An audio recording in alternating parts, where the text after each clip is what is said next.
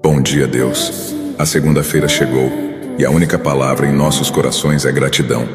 Obrigado, meu Deus, por nos permitir iniciar esta semana com as pequenas vitórias alcançadas e pela graça de um novo começo. Depositamos diante de Ti nossas vidas, nossos sonhos, planos e projetos.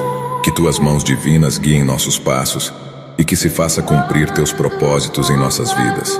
Pedimos, meu Pai, que livre nossos caminhos do homem mau Afaste-nos das amizades ruins, dos olhares carregados de maldade e de todos aqueles que tentam de alguma forma atrapalhar nossos sonhos. Que esta segunda-feira seja marcada por tuas bênçãos, que haja paz em nossos corações, amor que transcenda qualquer dificuldade e prosperidade, e que reflita a abundância de tua graça.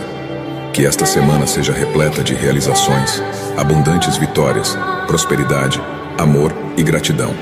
Em nome do teu amado Filho, Cristo Jesus. Amém.